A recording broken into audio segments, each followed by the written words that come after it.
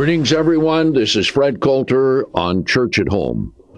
Church at Home is dedicated to restoring original Christianity for today. Let's ask a question What does it mean to be born again? And why is it the 10th step? Most people believe it's the first step because most people believe that born again is a conversion experience when you give your heart to the Lord.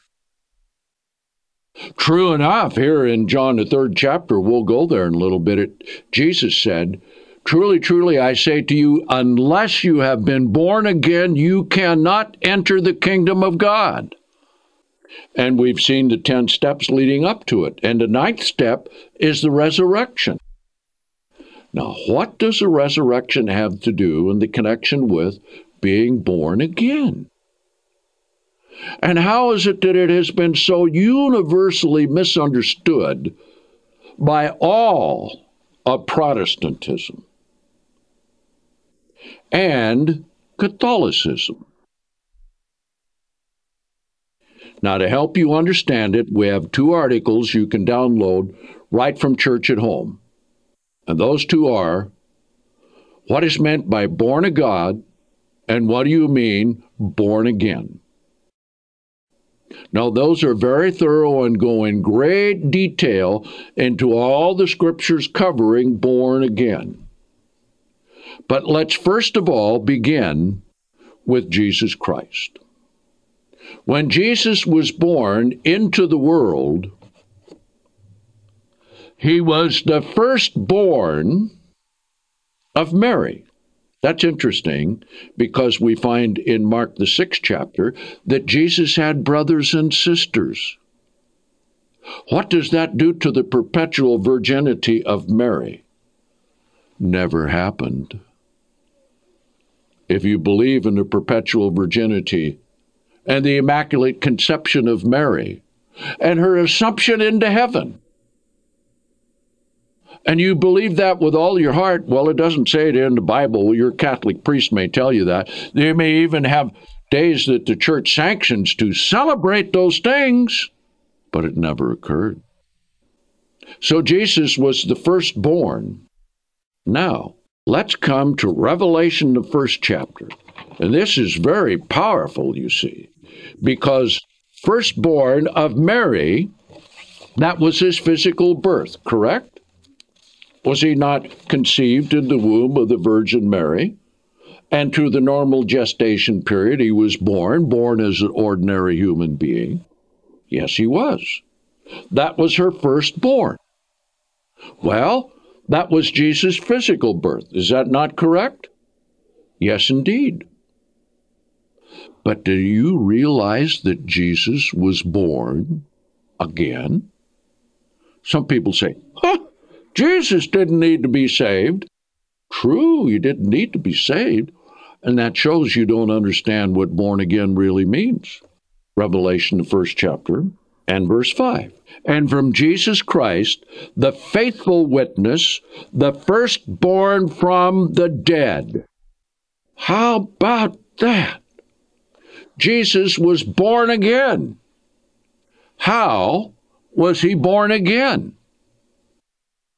From the dead to being a spirit being again and receiving the fullness of what he gave up so that he could become Savior for us. So there it is. Jesus was born again. Let's read it here in Colossians, the first chapter, and let's see what it says about Jesus. Let's see what it says about his being born again, because he was. And then we'll relate that. What does it mean for us to be born again? And what does it all mean there in John, the third chapter? Colossians 1 and verse 12. Giving thanks to the Father who has made us qualified for the share of the inheritance of the saints in light, who has personally rescued us from the power of darkness that's Satan the devil, and transferred us unto the kingdom of the Son of his love. Now we've been transferred to when we receive the Holy Spirit of God, but we have not entered into the kingdom of God yet because we're not yet spirit beings, because flesh and blood cannot enter into the kingdom of God. But we are under the authority and jurisdiction of God the Father and Jesus Christ.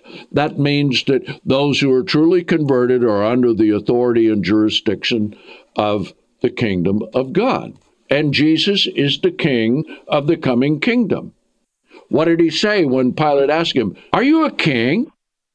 And he said, For this reason I was born. And for this cause I came into the world. But you see, he hasn't yet received the kingdom to rule over the earth.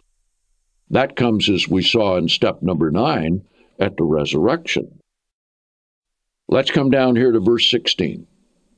This tells us an awful lot about Jesus Christ and what he did before he became a human being and what he had to give up, what he had to forsake and humble himself to become a human being so that he could die the death on the cross that he could become your Savior, that he could become the sacrifice for your sins, and yes, the sins of the whole world in God's plan as it unfolds. Verse 16, Colossians 1. Because by him were all things created, the things in heaven, the things on earth, the visible, the invisible, whether they be thrones or lordships or principalities or powers, all things were created by and for him. Now think of that. Jesus, who created everything that there is, by the word of his power upholds all things, he came and died for you. And he came and opened the way so that you could receive salvation God's way. And you can't enter into the kingdom of God or the kingdom of heaven until you go through all the 10 steps of entering into the kingdom of God. And the 10th one is born again. Verse 17 now, just showing his power, his majesty, and his authority. For he is before all things, and by him all things subsist. As Paul wrote there in Acts 17, in God and Christ we live and move and have our being. You exist because of the very creation of God, and He's given all of us choices. Are we going to choose God's way and His revealed word? Are we going to yield to God and walk in His steps? Are we going to love God the Father and Jesus Christ with all our hearts and mind and soul and being? Do we agree with God that everything that He has said and done is perfect and right and good and true? And what we should do? Do we? That's the attitude of conversion. But notice here, verse 18, the position that Jesus also has in relationship to the church. Now, that's why we have church at home, because the churches of this world have gone astray so badly that it is almost incomprehensible. And we have a new book that is coming, which is called Lord, What Should I Do? Now, this is a revision of a book I wrote some 15 years ago. But now, to answer the question for people who have been in the Christian churches of this world, what do I do? I go to church and I find everything falling apart. I hear the same old message. I hear the same old thing all the time. Where is God? What is God? And you know, the churches are so bad, they are creating atheists by the scores. So you need to understand what you need to do. Now, notice verse 18. And he is the head of the body of the church, and the church of God are all of those scattered ones who have the Spirit of God, and we are the few. And to take, you know, the Marine ads took from the Bible, the few and the chosen. That's actually from the Bible. Many are called, but few are chosen. See, we are to be true spiritual soldiers of Jesus Christ. We're not to fight now because Jesus said, If my kingdom were of this world, then would my servants fight. We see the truth is we have to be born again first. So let's consider and go on and find out what that is all about. Continuing now, verse 18 Who is the beginning, the firstborn from the dead? The beginning of what? Of the resurrection from the dead, the firstborn from among the dead, so that in all things he might hold the preeminence. That's really something. Now let's come here to Romans, the eighth chapter, and let's see something else. This is quite astonishing when you understand it. Now remember, we saw that he was the firstborn of Mary, correct? We saw that he was the firstborn from among the dead, correct? Yes.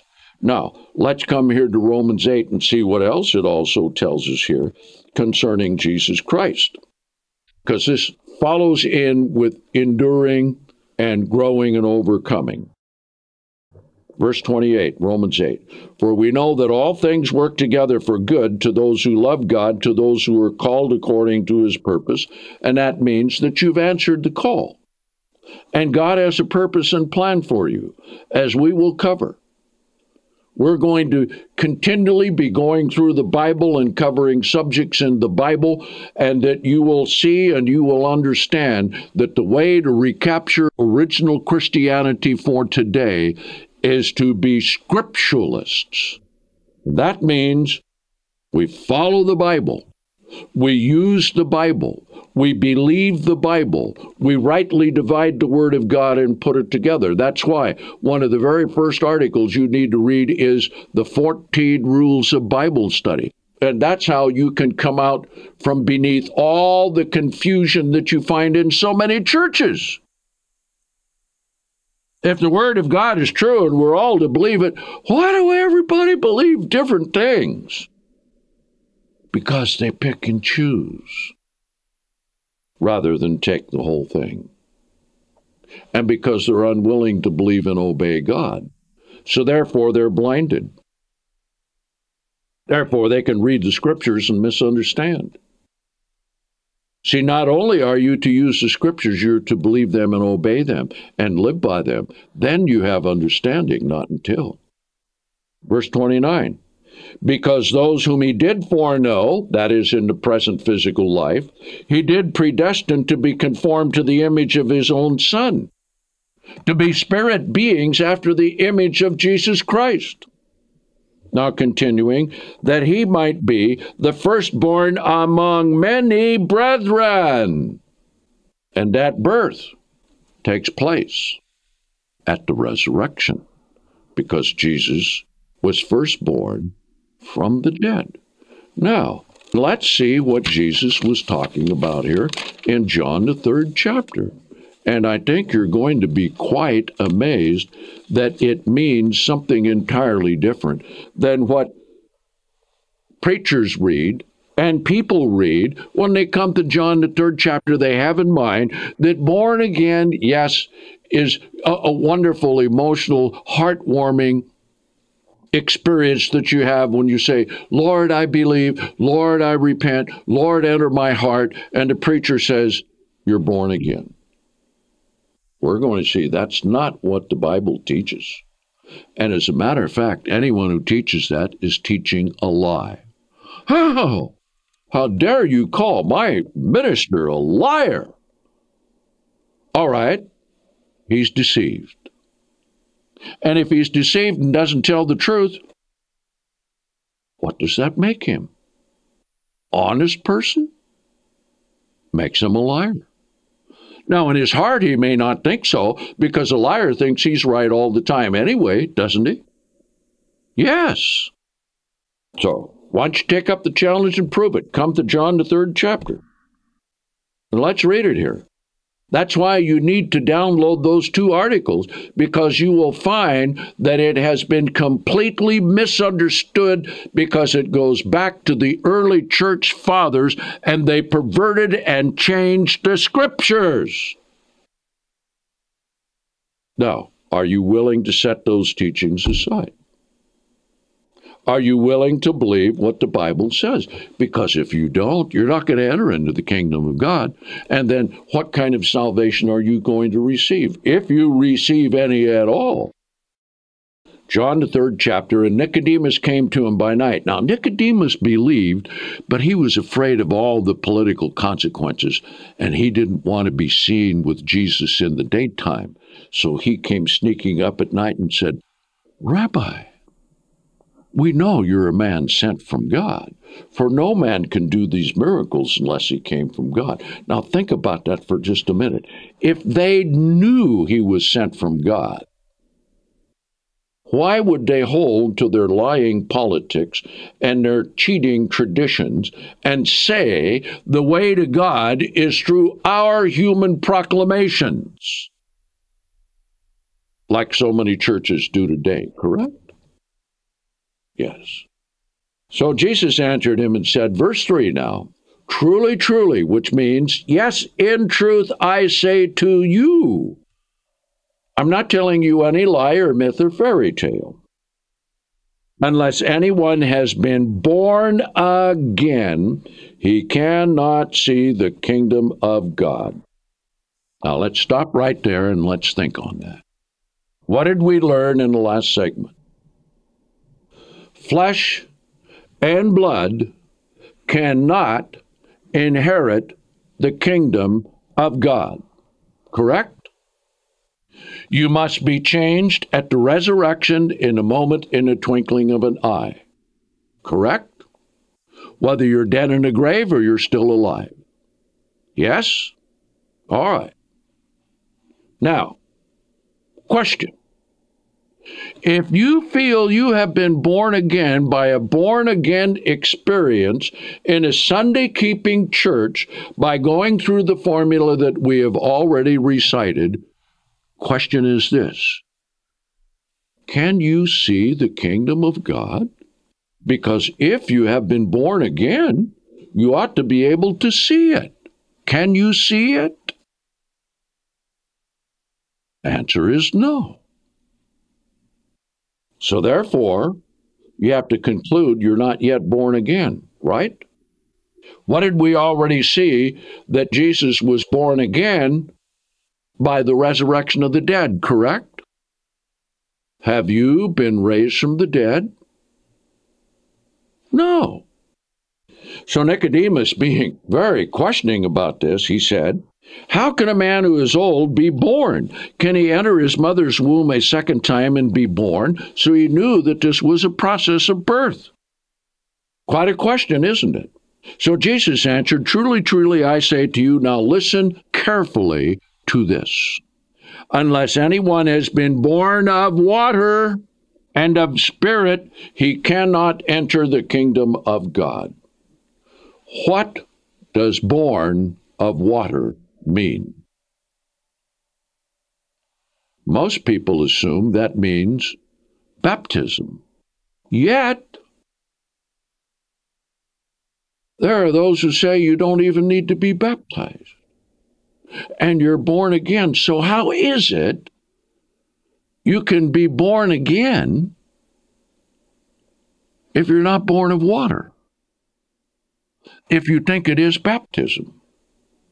You see how confusing that gets? All right, we'll answer the question in just a minute. Verse 6 gives us the answer. That which has been born of the flesh is flesh. Question Were you born of the flesh? Yes. Are you now flesh? Yes. Pinch yourself and find out? Yes. You're flesh. And it gets old and wrinkly and, you know, shrivels up like a prune and then dies, right? happens to all of us. When we're young, we never think about that. When we get about 40, we think, oh, well, you know, I'm still in pretty good shape.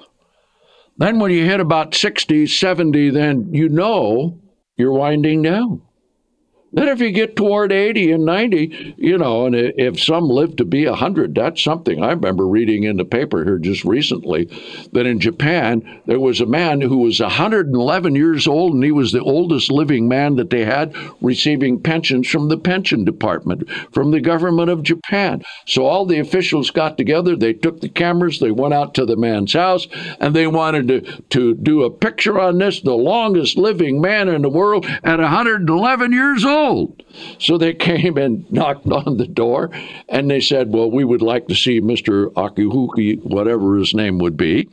And uh, they went on in and, and they said, Well, where is he? They said, He's in bed.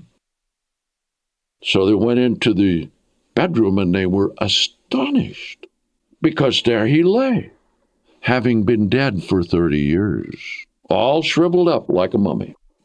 Well, now, then they're investigating everyone who's over 100 in Japan because how many families are receiving pensions that shouldn't?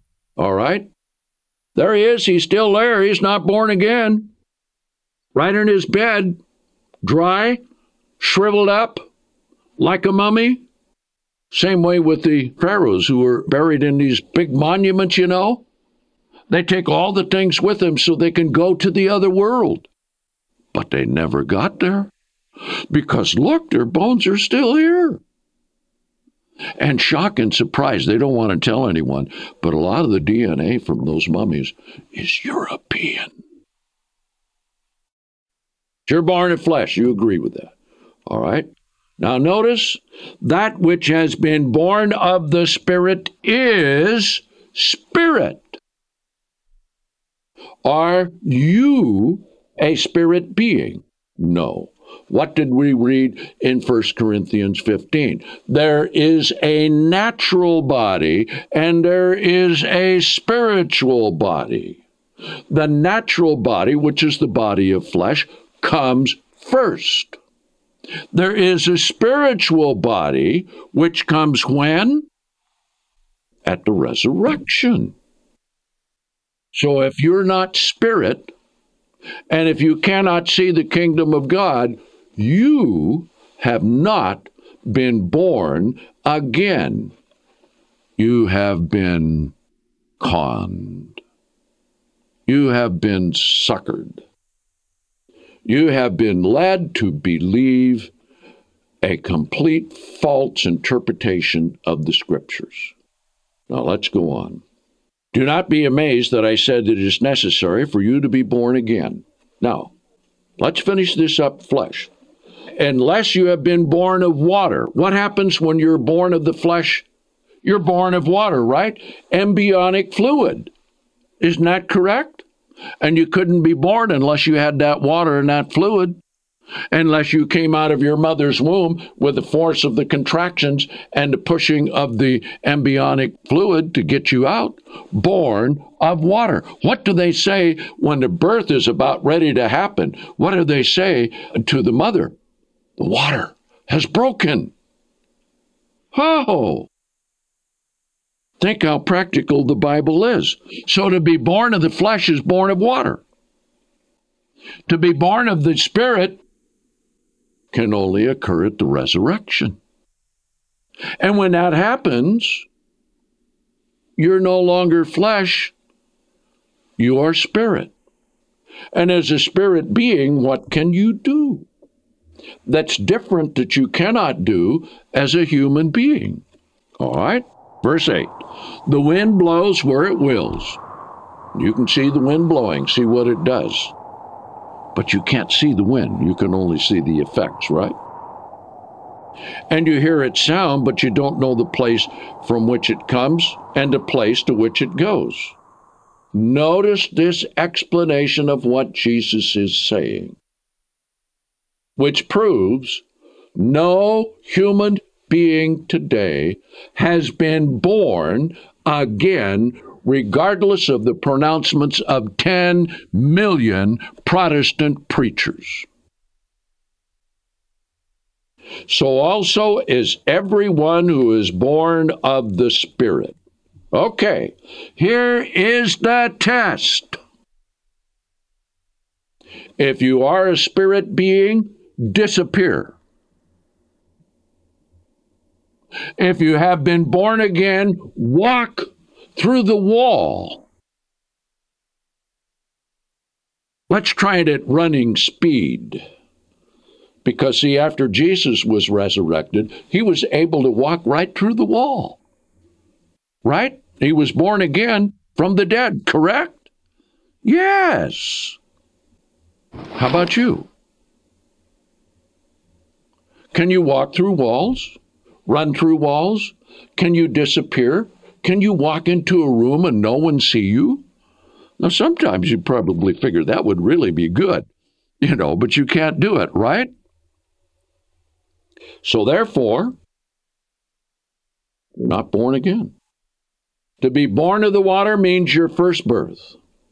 To be born of the Spirit means to be born from the dead, from the grave, changed in a moment, in a twinkling of an eye, and that's when you are born again.